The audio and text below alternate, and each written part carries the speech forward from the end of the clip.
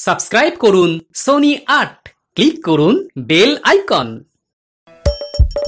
হাসির রাজা জ্ঞানের রাজা রসিক রাজা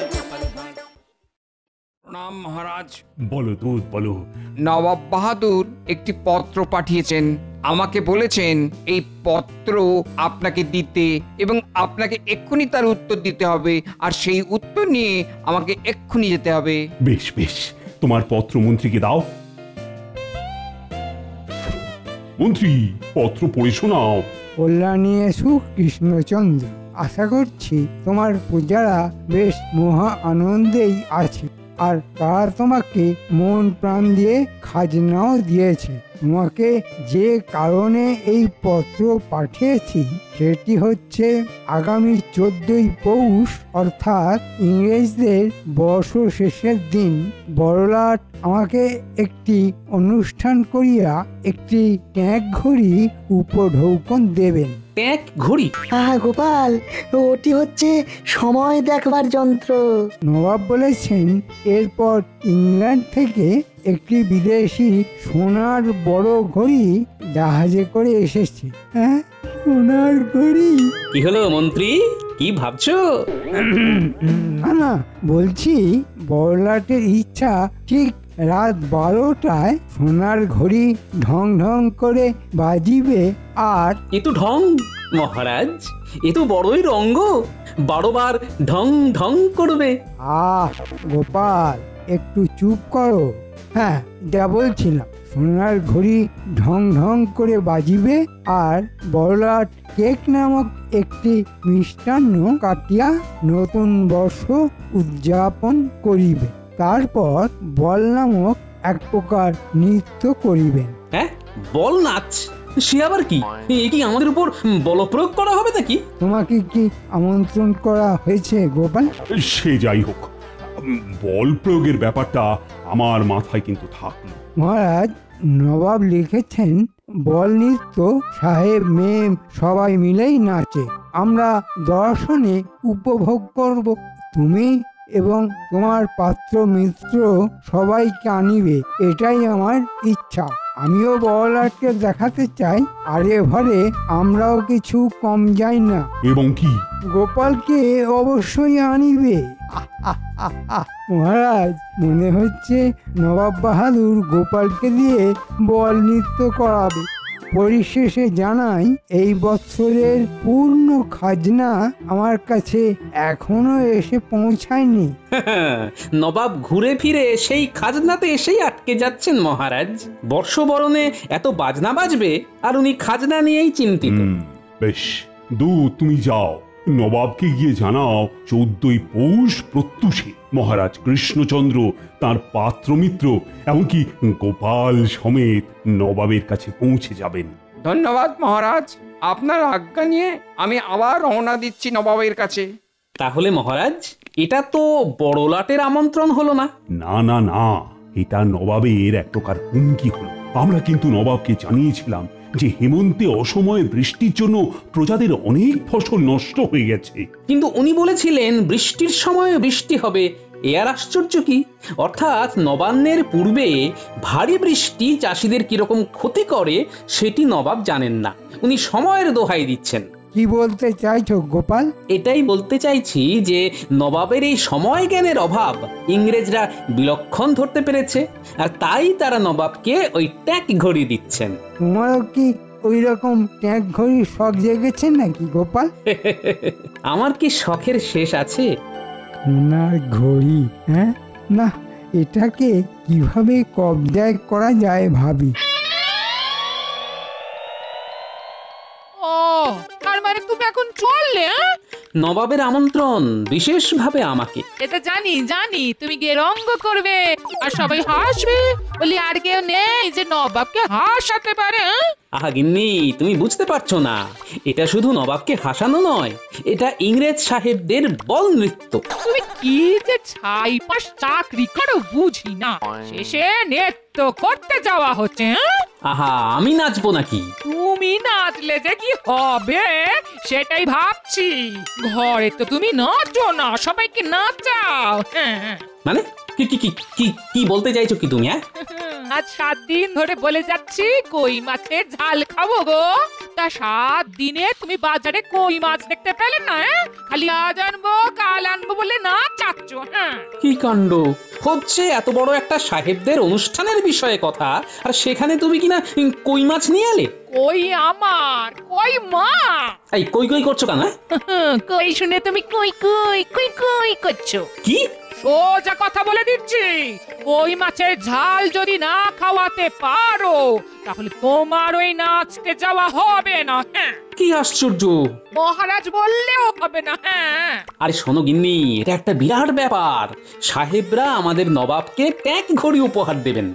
এটা একটা যাকে বলে দুর্লভ মুহূর্ত হবে। সেই সময় উপস্থিত থাকা একটা বিশাল বড় ব্যাপার গিন্নি। ও তাতে তোমার কি হ্যাঁ? তুমি নিজে তো ট্যাগ খালি করে সব সময় বসে থাকো হ্যাঁ। উফ গিনি শোনো শোনো, একটা বিশাল সোনার ঘড়ি জাহাজে করে এসেছে। সেইটা ঠিক রাত বারোটায় ঢং ঢং করে বাজবে।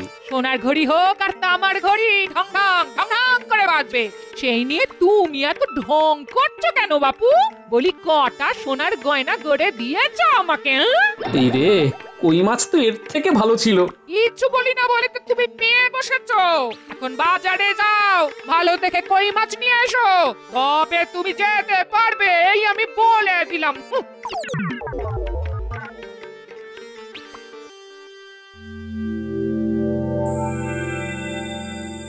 সোনার ঘড়ি হ্যাঁ তা সোনার ঘড়িতে কতটা সোনা থাকে? খাঁটি বিদেশি সোনা। একবার হাতাতে পারলে সারা জীবন পায়ের ওপর পা তুলে। তুমি নিজের মনে বিড়বিড় করছ কেন? আর হাসছো? বুঝলে গেনে খুব ভালো সময় আসছে। কি চাও তুমি? কত সোনার গয়না চাও?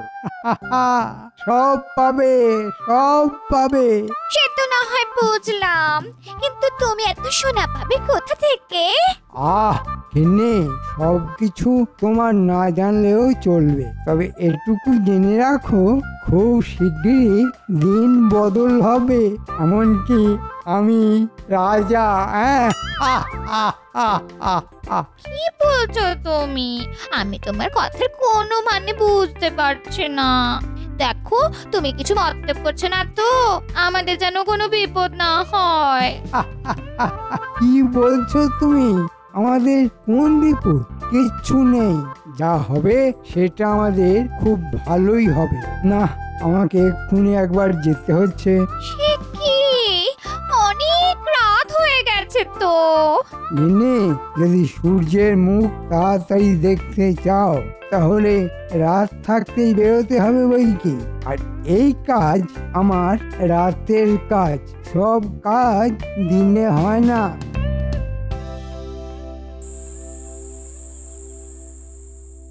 বলি বলি তুমি কি পেয়েছ শুনি এই শীতের রাতে? তোরঙ্গতে কি ভরছো হ্যাঁ? এই দেখো আরে আমি কদিন থাকব তার তো কোনো ঠিক নেই। নতুন পোশাক তারপর ওই গরম চাদর টাদর কিছু নিতে হবে তো নাকি? নতুন পোশাক হ্যাঁ? শেষ কবে কিনেছিলে মনে আছে হ্যাঁ? আহ গিন্নি চুপ করো তো। আহ, তুমি যাও গিয়ে ঘুমো। তোমার তোরঙ্গের এই ক্যাচ ক্যাচানি শব্দে ঘুম ভেঙে গেল। আহ, বাবা। নিজেও সব লন্ড ভন্ড করছ। আর আমারও রাতের ঘুমের তো ভারপা করছ হ্যাঁ? যাও, সরো তো এখান থেকে, আমি গুছিয়ে দেবো। উফ, না না, মনে হচ্ছে পেটে খাবার ঠিক হজম হয়নি। কই মাছের ঝাল তো না, যেন লঙ্কা বাটা জিভে ডলে দিয়েছে কেউ। বাধ্য হয়ে আমাকে হাঁড়ি থেকে গুড় নিয়ে খেতে হলো। হ্যাঁ? বলি ছোটবেলার অভ্যেস তোমার আর গেল না দেখছি হ্যাঁ আমি একটু হেঁটে আসি বুঝলে? ভালো করে গায়ে আলোয়ান জড়িয়ে নাও। বলি বাইরে পৌষের শীত সেই খেয়াল রেখো হ্যাঁ। না পেট বেশ গরম হয়েছে মনে হচ্ছে। সেই কারণে একেবারে ঠান্ডা লাগছে না ঘুমটাও আসছে না। না কাল একবার কবিরাজের থেকে পাঁচন খেতে হবে দেখছি। এত রাতে কে? যেই হয়ে থাক। তারও আমার মতো পেট গরম হয়েছে বলে তো মনে হচ্ছে না? এগিয়ে দেখি তো। তাড়াতাড়ি পৌঁছতে হবে। মন্ত্রী নিশ্চয়ই কোনো কুমতলবে এসেছে। ও বাবা আবার শীষ দিচ্ছে? বলুন মন্ত্রীমশাই বড় কাজ আছে। কোথায়? এখানে না মুর্শিদাবাদে। ও বাবা। তোরা এখনই মুর্শিদাবাদে রওনা হয়ে যা ছদ্মবেশে থাকবি বণিকের ছদ্মবেশে। ওখানে তোদের সব কাজ আমি বুঝিয়ে দেব। কিন্তু আমরা কি পাবো? তোরা যা পাবি তা কল্পনাও করতে পারছিস না। শুধু বলছি এ কাজ ঠিক মতো হলে নবাব আর রাজার নাক কাটা যাবে। তোরা অনেক সোনা পাবি। আর আমি আমি নিজেই রাজা হয়ে যাব হ্যাঁ? হুম। বেশ যা হবার তাহলে নবাবের ওখানেই হবে। নাক কাটা যাবে বলছে মানে সাহেবদের অনুষ্ঠানের মধ্যেই কিছু একটা হবে। মন্ত্রী আমি থাকতে তুমি কিছুই করতে পারবে না বাবা। হুজুর মহারাজ কৃষ্ণচন্দ্র তার মন্ত্রী পাত্রমিত্র সমেত এবং গোপাল ভাঁড়কে নিয়ে দরবারে আসবার জন্য প্রস্তুত। আস্তে আজ্ঞা হোক সুস্বাগতম। তোমরা সকলে এসেছ বলে আমি খুশি হয়েছি। কৃষ্ণচন্দ্র তুমি আমার এখানে অতিথি। কোনো ভুল ত্রুটি হলে মার্জনা করো হ্যাঁ? নবাবের অতিথি নিবাসে আমরা সকলেই খুব ভালো আছি। নবাবকে ধন্যবাদ। ধন্যবাদ। এই যে গোপাল তোমাকে তো আর আমার দরবারে পেলাম না। তাও এরকম উপলক্ষে তোমাকে দেখলাম। আমরা তো সবাই এসেছি। সে তো দেখতেই পাচ্ছি। চলো চলো, কৃষ্ণচন্দ্র, আমরা সাহেবদের বড় ঘরে যাই। ওইখানে এখন সোনার ঘড়ির উদ্বোধন হবে হ্যাঁ? চলো।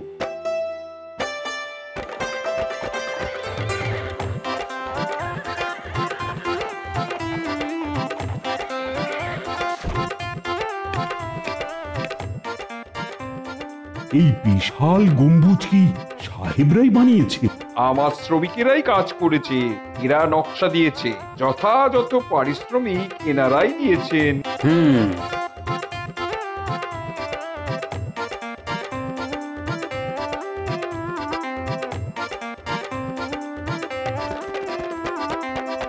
তোমরা আসাতে আমি খুব খুশি হইয়াছি। হুম। আমরাও খুশি। উদ্বোধন পর্ব যত তাড়াতাড়ি করা যায় ততই ভালো। আমরাও তোমাদের ঘড়ি দেখতে ভীষণ উৎসাহী। নিশ্চয়ই। পরিচয় করাই কৃষ্ণনগরের মহারাজ কৃষ্ণচন্দ্র। তার সহযোগী এরা সবাই। কিন্তু একে চিনে রাখুন এ হলো গিয়ে গোপাল ভর ও বেশ। কৃষ্ণচন্দ্র আমি বড়ই খুশি হলাম তুমি আসাতে। গ্যাপাল বাবু তোমাদের স্বাগতম। ইয়ে মানে ওই গ্যাপালটা কি Gapal is funny. Uh, Gapal is funny. Uh, clock পাশের ঘরে আই মিন রুম ও সরি সরি সরি দুঃখিত দুঃখিত ক্লক মানে তোমাদের গড়ি গড়ি ও বেশ বেশ মহারাজ ঘড়ি আছে পাশের ঘরে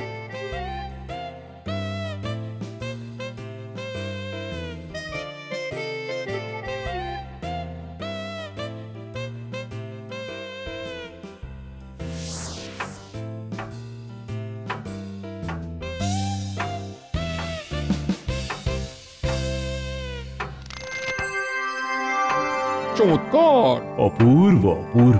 অসাধারণ। লাজবাব। আজ রাতেই এই ঘড়িতে বারোটা বাজবার আগেই ঘড়ির বারোটা বেজে যাবে। আজ সন্ধ্যা থেকে আমাদের উৎসব চলিবে। রাত বারোটা বাজলে এই গড়ি জানাবে আর তখন কেক কাটা হইবে। মহারাজ নবাব বাহাদুর এটা খুব সুন্দর জায়গা।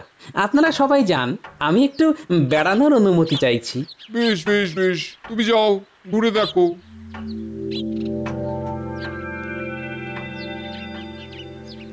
কেমন আছো প্রহরী? আমরা একটু ভেতর ঘুরে দেখতে চাই। অনুমতি চাই। অনুমতি ছাড়া ঢুকতে দেওয়া হয় না। আচ্ছা আহ, আমরা এই গম্বুজের বাইরে বাগানটা তো ঘুরতে পারি।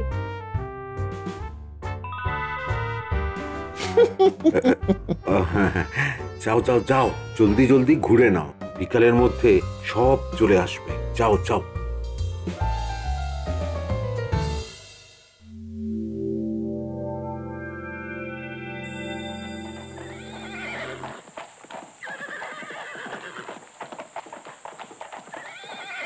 কি হলো গোপাল?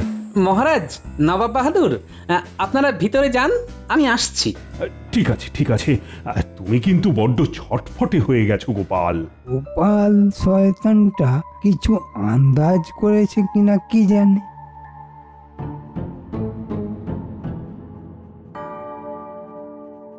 কি চাই? তুমি তো দুপুরে ছিলে দুজন ভেতরে গিয়েছিল। না এইরকম কিছু তো ঘটেনি। তুমি মোহর নিয়ে মানে ঘুষ খেয়ে দুজনকে ভিতরে ঢুকিয়েছো? নবাব জানতে পারলে কিন্তু তোমার গরদান যাবে। তুমি জানলে কি করে? আমি সব দেখেছি। খুব ভুল হয়ে গেছে। এ, ওরা বাগানে গেছিল কিন্তু বেরোয়নি। এ, মানে ওই চলে যাবার কথা ছিল এ, কিন্তু ওদের বেরোতে দেখা যায়নি। আমরাও ওদের খুঁজে পাইনি। সতর্ক থাকবে। বড় কোনো চুরি বা ডাকাতি হতে পারে কিন্তু। হ্যাঁ? এখন আমাদের বড় লাট নবাবকে ট্যাগ গড়ি উপহার দিবেন। খুব খুব সুন্দর হয়েছে নবাব। হুম তাহলে এখন কটা বাজে? এখন দশটা বাজে। তোমরা খেয়ে নাও। না জানি কি সাহিবি খানা জুটবে। গোপাল আস্তে কি যে বলো না আরে এই মন্ত্রী মশাই যে মশাই আর সময় নেই। ঘড়ির সবটাই সোনার যা নিতে পারব তাই লাভ। আমরা আগে পেন্ডুলাম খোলার চেষ্টা করছি। আপনি আসুন।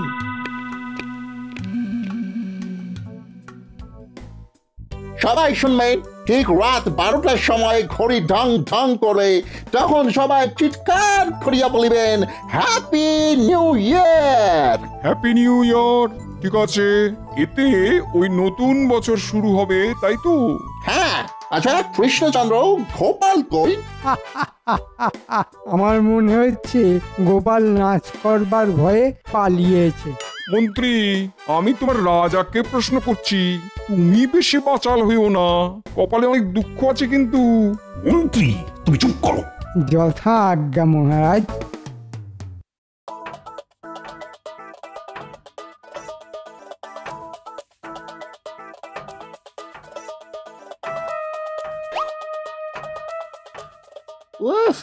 বড় ঘড়ি সে তো বুঝতে পারেনি। তুই যেই ডান্ডা ঝুলছে ওটা ধরে কাঁটায় পৌঁছা। এই রে এই আমি তো আমি তো দুলেই যাচ্ছি।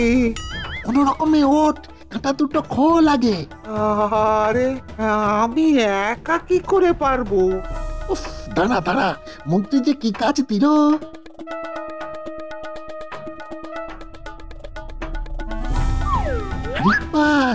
সোনার কাঁটা।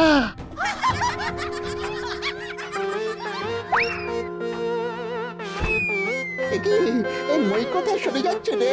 এ এ তো গড়িয়ে যাচ্ছে রে। তলায় চাকা লাগানো যে। এ কি? এ কি গোপাল? ঢং ঢং করে ঘড়ি বাজু। মই আজ তোমাদের কপালে জুটছে না।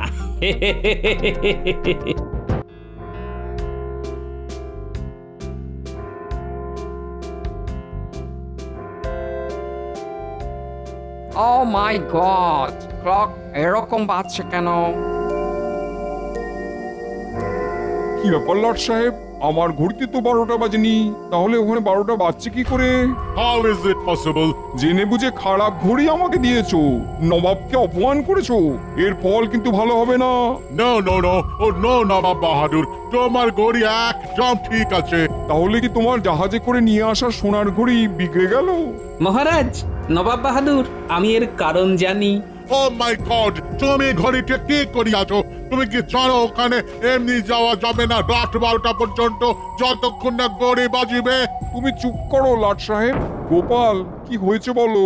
ওই বড় ঘড়িতে বটা ঘটা নামে দুটো ভূত ঢুকেছে সোনার ঘড়ি থেকে সোনা চুরি করবার জন্য। গোপাল তুমি যখন জানো তাহলে বলনি কেন? একটু মজা হলো আর কি। আমি জানি যে ওরা পালাতে পারবে না। দুজনেই এখন পেন্ডুলাম ধরে ঝুলছে। হ্যাঁ? ব- ব- ব- বলো কি গোপাল? মহারাজ নবাব বাহাদুর লাট সাহেব আমি একটা ছোট্ট কাজ করেছি। ওরা একটা মই নিয়ে ওই ঘড়ির পেন্ডুলামে পৌঁছেছিল। আমি সেই মই সরিয়ে নিয়েছি। খুব ভালো করেছ গোপাল খুব ভালো করেছ। Good good good very good very good খুব ভালো খুব ভালো। কিন্তু বটা ঘটা এখানে এলো কি করে? ওই যে ওই যে ওই যে মন্ত্রী পালাচ্ছে ওকে ধরুন। ওই মন্ত্রী বটা ঘটাকে দিয়ে সোনার ঘড়ির সোনা চুরি করবার মতলব মেটেছিল প্রহরী ওকে আটকাও শিগগির। চলুন যাওয়া যাক ওই ঘরে। আমাদের প্রোটোকল ছিল যে রাত বারোটা বাজলে সবাই ওই ঘড়ির সামনে দাঁড়িয়ে হ্যাপি নিউ ইয়ার বলিবে। আর কোনো কলের দরকার নেই। এখন চলুন তাড়াতাড়ি না হলে এই ঘড়ির কলকবজা সব বটা ঘটা খুলে দেবে।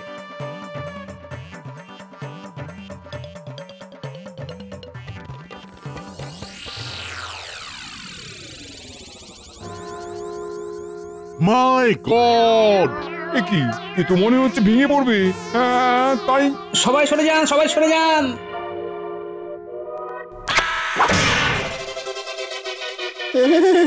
ও বাবা গো ওরে বাবা। নবাব নবাব আ- আ- আ- আমার মন্ত্রী আমার মান সম্মান নষ্ট করে দিয়েছে। আপনি আপনি আমার মন্ত্রীকে যে কোনো রকম শাস্তি দিতে পারেন।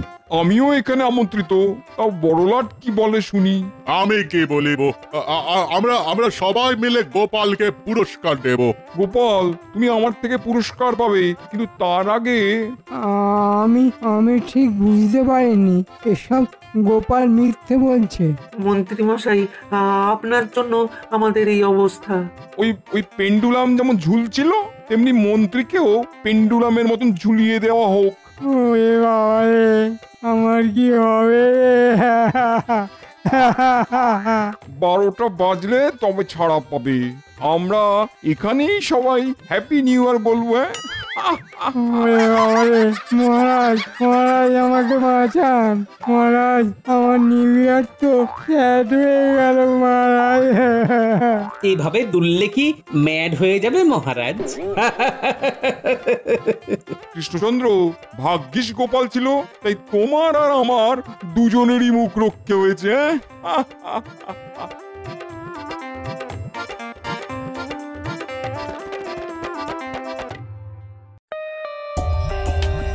For more updates, subscribe to our channel, click the show links and enjoy watching the videos.